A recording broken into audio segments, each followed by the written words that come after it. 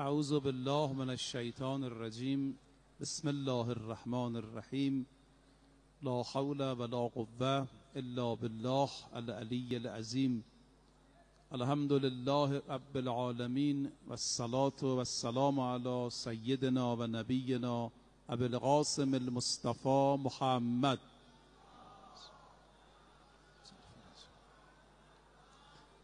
و على آله الطیبین الطاهرین. سیما بقیت الله فی الارزین و اللعن على اعدائهم اعداء الله اجمعین. اللهم كل وليك الحجة ابن الحسن صلواتك عليه وعلى آبائه في هذه الساعة وفي كل ساعة وليا وحافظا وقائدا وناصرا ودليلا وعينا حتى تسكنه أرضك طوعا وتمتعه فيها طويلا چند سالی است در این حرم نورانی و در کنار مسجع شریف حضرت فاطمه معصومه سلام الله علیها تفسیر قرآن میگیم. از آغاز سوره بقره شروع کردیم رسیدیم به آیه 159 و 160 از این سوره که هفته پیشم یه اشاره ای شد امشبم یه مروری می‌کنیم مطالبش رو عرض می‌کنیم. در آیه 159 سوره بقره خدای تبارک و تعالی میفرماید این یهودیان بنی اسرائیل علما و دانشمندان یهود که می‌دانستند پیغمبر اسلام حق اما کتمان کردند. شهادت ندادند دفاع نکردند لعنت خدا و لعنت ملائکه بر آنها باد. چون بعضی از اوقات هفته پیشم گفتیم بعضی از مخفی کاری ها کتمان ها ضررهای زیادی داره. کتمان و مخفی کاری یه جاهای خوبه. آدم صدقه به کسی میده مخفیانه بده. راز کسی رو مخفی کنه. مصیبتی داره دردی داره مخفی کنه. نگه. حاجتش رو مخفی کنه رو و رو به مردم نندازه. اینا خوبه.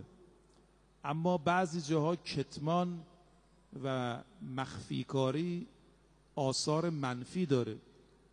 مثلا شما یه کالایی به کسی میفروشی عیبش رو مخفی کنی. و کلاه سر طرف می‌ذاری این حرامه. خود است حالا بیاید بالاتر فرض کنید شما یهودیان و قرآن داره میگه. شما تو کتاباتون خواندید که این پیغمبر آخر الزمان حضرت عیسی حضرت موسی علیهم السلام وعده دادن.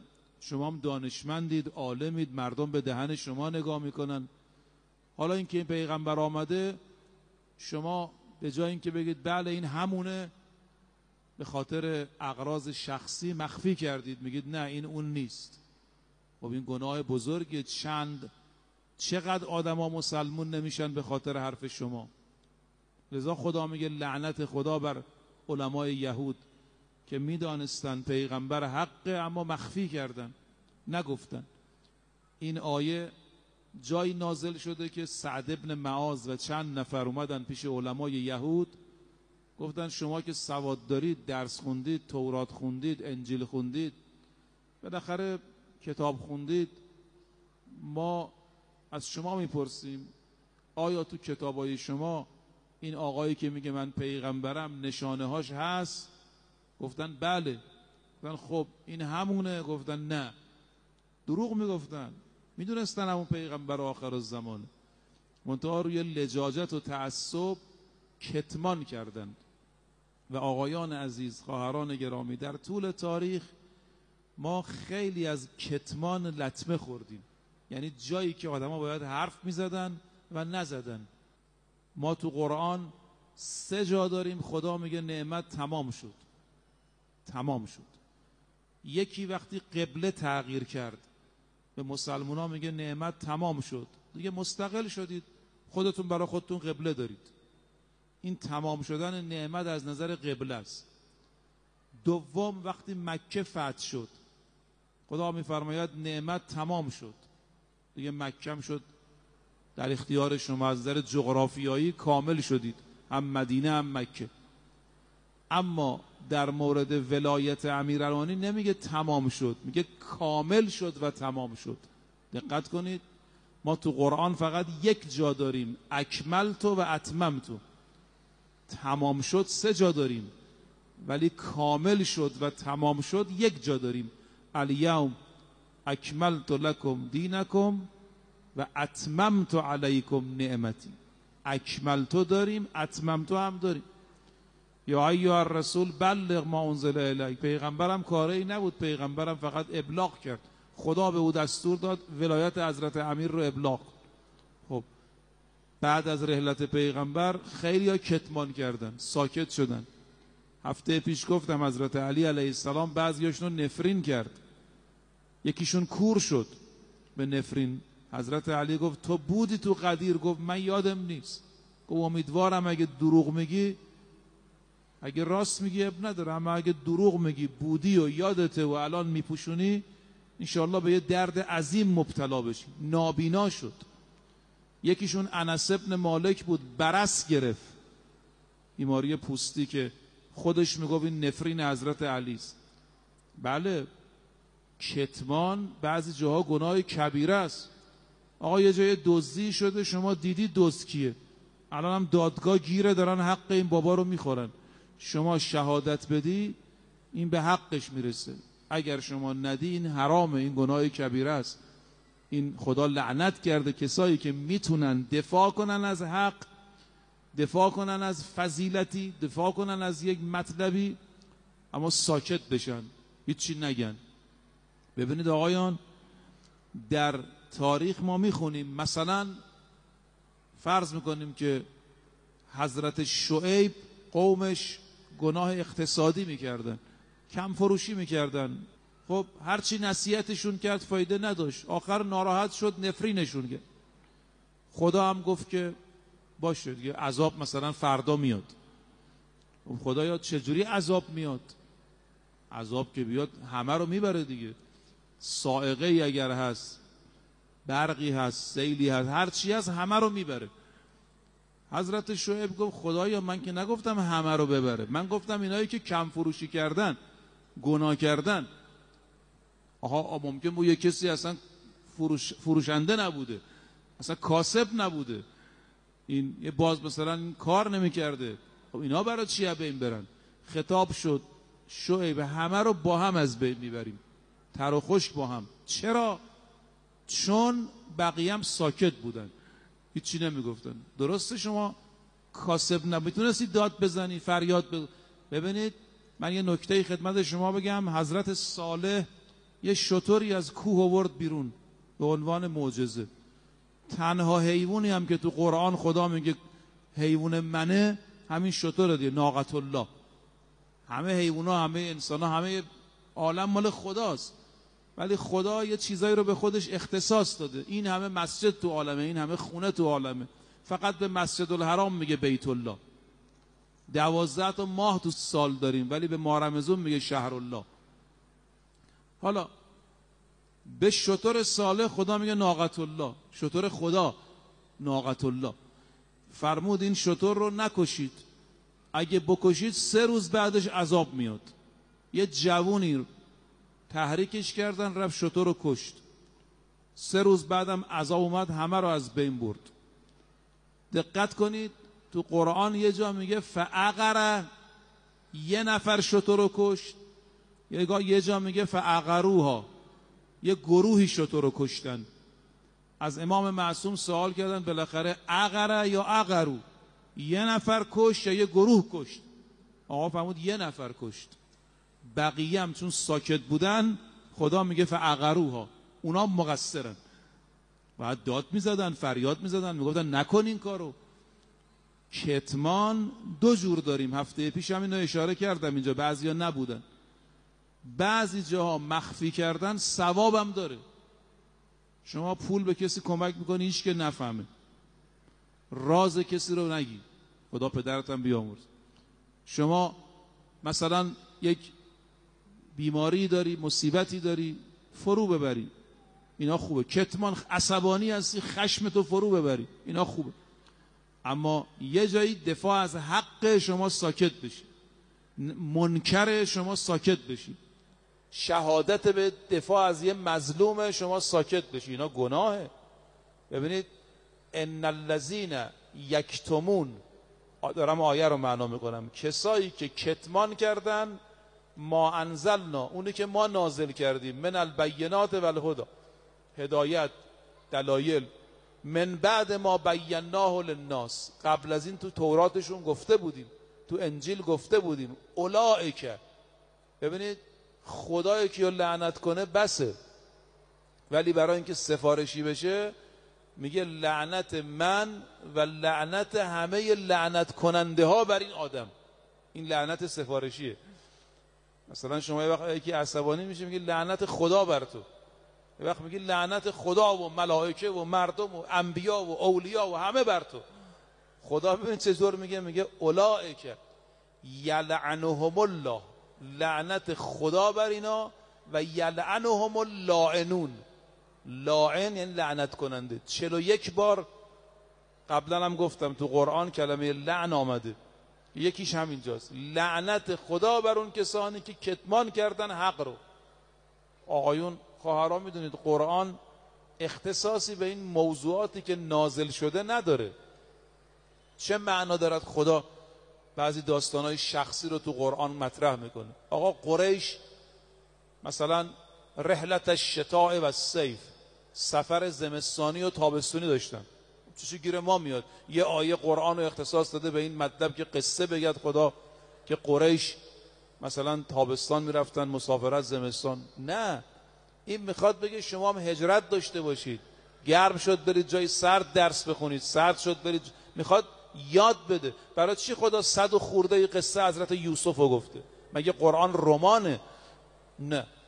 چرا اینقدر مفصل قصه یوسف رو میگه؟ می‌خواد به یه جوون بگه گول نامحرم رو نخور. می‌خواد بگه کینه به دلت نگیر. می‌خواد بگه برادرای یوسف چطور یوسف ازشون گذشت؟ تو زندگیشون گذشت باشه.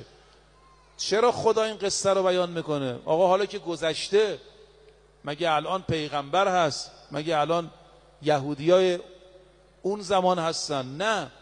این می‌خواد بگه در طول تاریخ هر که حق و مخفی کرد لعنت خدا برو. لذا کسایی که قدیر رو مخفی کردن مشمول لعن الهی هستن. هیچ روایتی هم به اندازه قدیر راوی نداره. شما آقایون من دیشب جمکران هم گفتم. گفتم بعضی حدیث ها یه نفر نقل کرده. خیلی هم معروف مین ما. مثلا از سلات و عمود و دین تو شنیدید دیگه این حدیث رو این حدیث رو یه نفر نقل کرده. حدیث قدیر رو 110 نفر نقل کرده.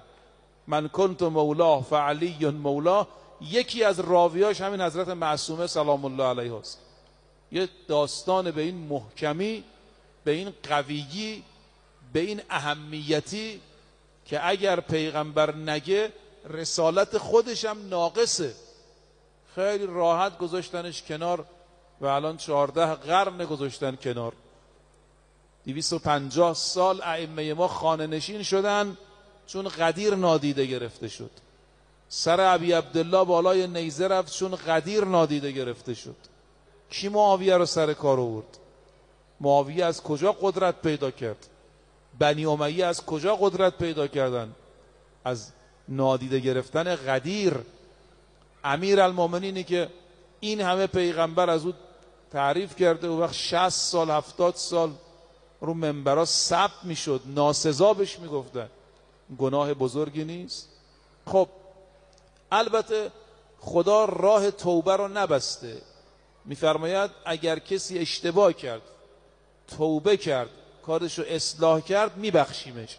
حتی علمای یهود که این خطا رو کردن پیغمبر ما رو کتمان کردن رسالتشو اگه بیان به مردم بگن بگن ببخشید ما اشتباه کردیم حق با پیغمبره.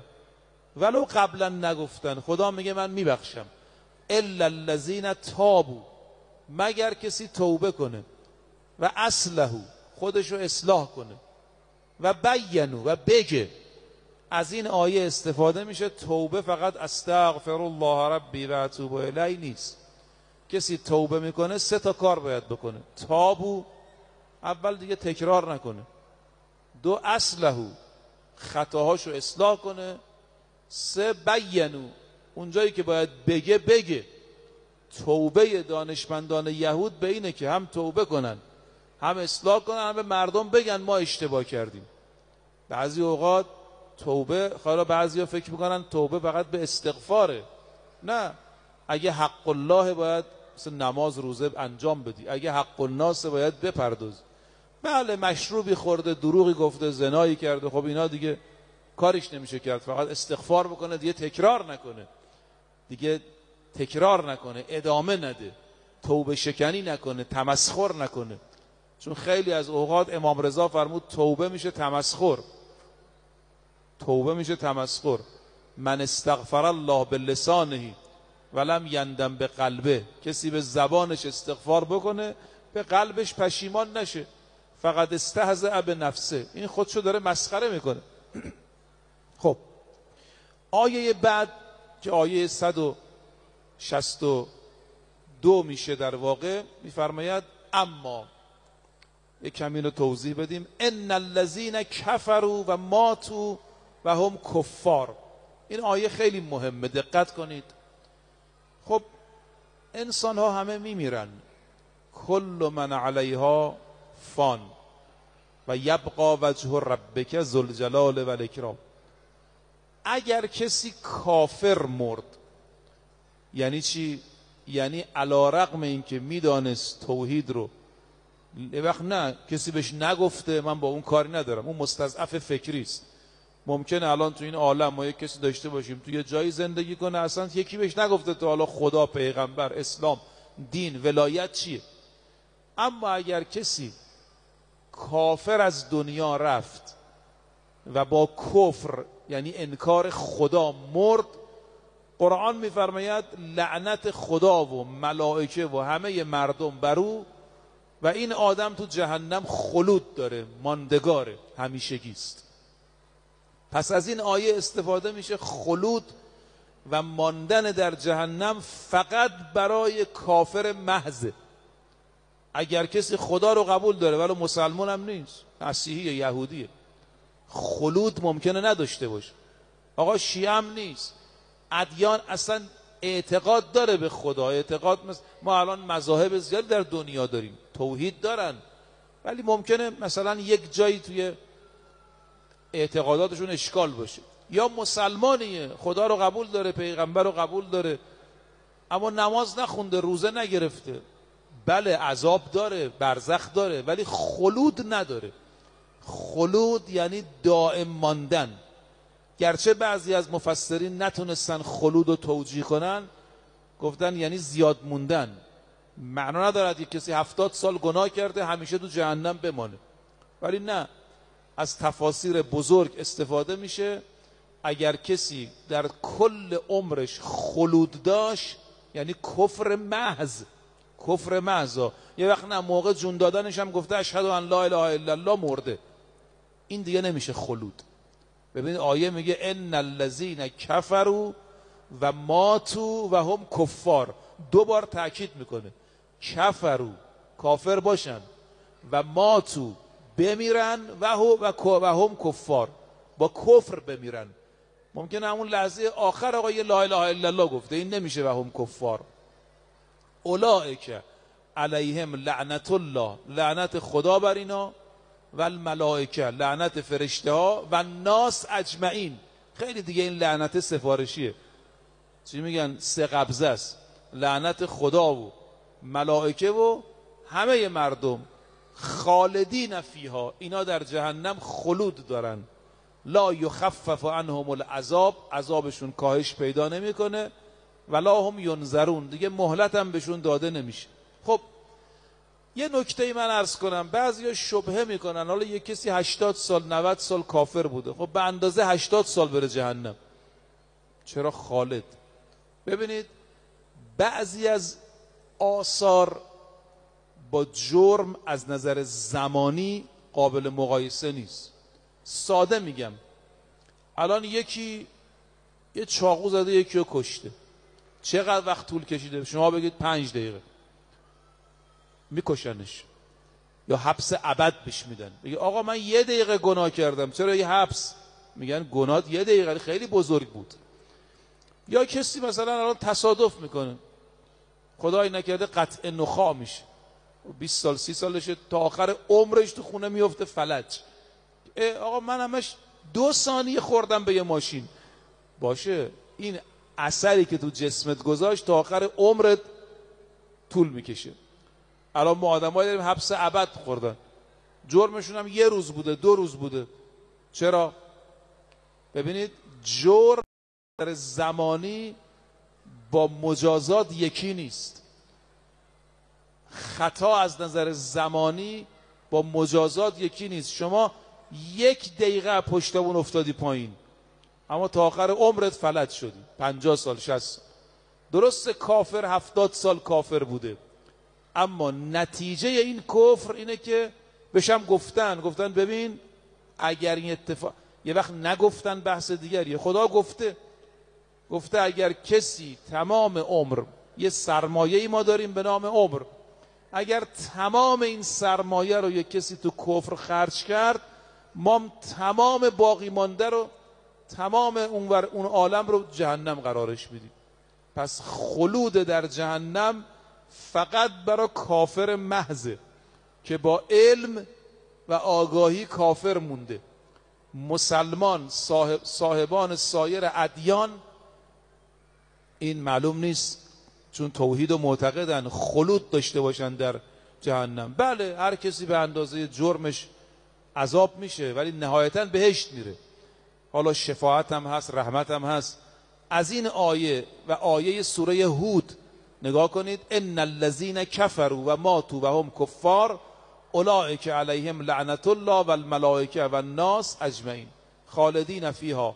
لا یخفف عنه یا لا یخفف عنهم العذاب ولا هم ینظرون آیه بعد که من معنا کنم و دیگه بحث رو جمع کنم آیه 163 میفرماید خب همه این حرفا رو زدیم می‌خوایم به یه نتیجه برسیم.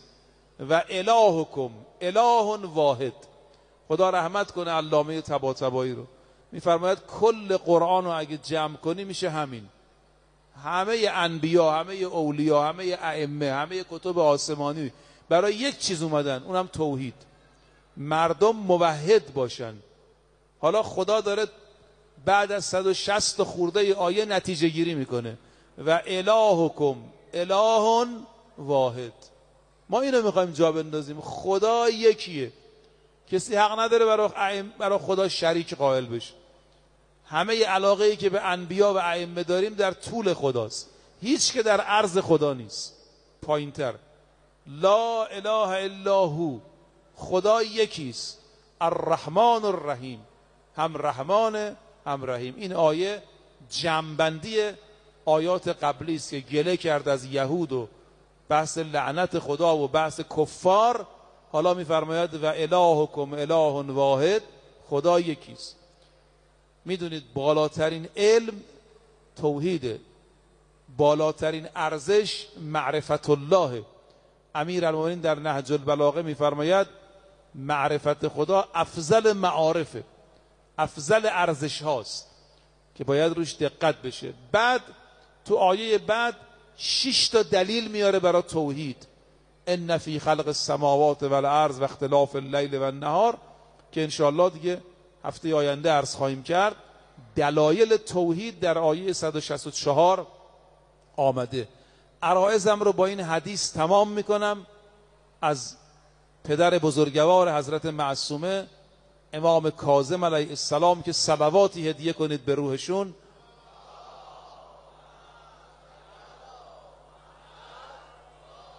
این حدیث خیلی مهمه گوش بدید من دیگه ارزم با همین تمام می‌کنم. امام کاظم پدر بزرگوار حضرت معصومه فرمود کسی چهار تا آگاهی داشته باشه این عالمه. تمام علما تو چهار تا کلمه فرمود جمع شد. عزیزان برادران خواهران جوانان عزیز دقت بفرمایید حدیث رو. خیلی ساده و کوتاه. وجد تو علم الناس فی اربع. فرمود من تمام علوم رو تو چهار تا کلمه برای شما خلاصه می‌کنم. حالا فیزیک شیمی ریاضی نجوم فقه اصول اونا که علمای رسمی است. اونو کاری نداریم. این علم یعنی آگاهی معرفت. کسی چهار تا معرفت داشته باشه تو زندگیش موفقه. یک. ان تعرف ربک. اول خدا رو بشناسید. من کار ندارم از چه راهی می‌شناسید. ممکنه یه پیرزن از چرخ نخریسی بشناسه. پاستورم از مثلا اون مواد ریز داخل اشیا بشناسه. ممکنه نیوتون از کرات بشناسه کشاورز از یه درخت بشناسه. مهم نیست از چه راهی خدا رو می‌شناسه. خدا الحمدلله راه خداشناسی رو محدود نکرده. ما هم برهان صدیقین داریم مال ملا صدرا. هم برهان نظم داریم که یه پیرزنم می‌فهمه. همه رقم برهانی داریم برای خداشناسی چهار چیز کسی بدانه عالم اول خدا رو به دو ان تعرف ما صنع بک خودشناسی. ببینید آقایان خواهران ما خودمونم باید بشناسیم. ما یه سرمایه‌ای داریم به نام عمر. یه سرمایه‌ای داریم به نام عقل. یه عقل و حیوانات موجودات دیگه ندارن. این سرمایه ها رو بشناسیم. کجا هزینه می‌کنیم؟ اگه قرار شد همه یه عمر ما صرف خوردن و خوابیدن شد که این به قول مولوی داستانی دارد خیلی قشنگه. میگه یه گاوی بود توی مزرعه بزرگ توی جزیره بزرگ. خیلی همین جزیره خوش آب و هوا بود. اونجا زندگی می‌کرد. صبح میمد تو این جزیره تو این مزرعه همه چیز بود. می‌خورد. می‌خورد می‌خورد چاق می‌شد تا شب. شب که میخوابید قصه می‌خورد. می‌گفت نکنه فردا نباشه. فردا درش بسته باشه. رام ندن. دوباره تا صبح لاغر می‌شد. دوباره صبح که میمد بدید نه مزرعه سر جاشه و بعد خیلی قشنگ میگه. میگه نفس آن گاو است و آن دشت این جهان. عذر می‌خوام از محضرتون. میگه مسئله ما مسئله این گاو مسئله ماست. ما تو این جهان داریم می‌خوریم بازم همش قصه می‌خوریم. فردا چی میشه؟ دخترم چی میشه؟ پسرم چی میشه؟ نفس آن گاو است و آن دشت این جهان که همه لاغر شود از خوف نان. همه قصه می‌خورن همه شکوه می‌کنن. بابا سالها خوردی و کم نامد ز ترک مستقبل کن و مازی نگر این همه خوردی تموم شد. آیندم بخوری تموم نمیشه. یرزق من یشا خیلی قشنگ میگه. سالها خوردی و کم نامد ز خور. ترک مستقبل کن و مازی نگر چهار چیز کسی بدانه عالمه. خداشناسی خودشناسی. سوم ان تعرف ما اراد من. وظیفه شناسی. حالا خدا ما عقل داده داده برای خوردن استفاده کنیم. اون که عقل نمی‌خواد که. مگه عضو می‌خوام؟ حیوانات که انقدر می‌خورن عقل دارن. داده برای غریزه جنسی؟ نه. اون که عقل نمی‌خواد. عقل برای چیز دیگه داده. بالاخره خدا ما چند تا سرمایه داده. بله شکم داده می‌خوریم. غریزه جنسی داده مشخصه. چشم داده. اما عقل برای چی داده؟ من بگید شما. اگه قرار ما بخوریم بخوابیم عقل نمی‌خواستیم که.